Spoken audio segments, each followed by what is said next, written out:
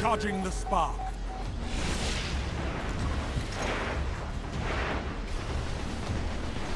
You're in the lead.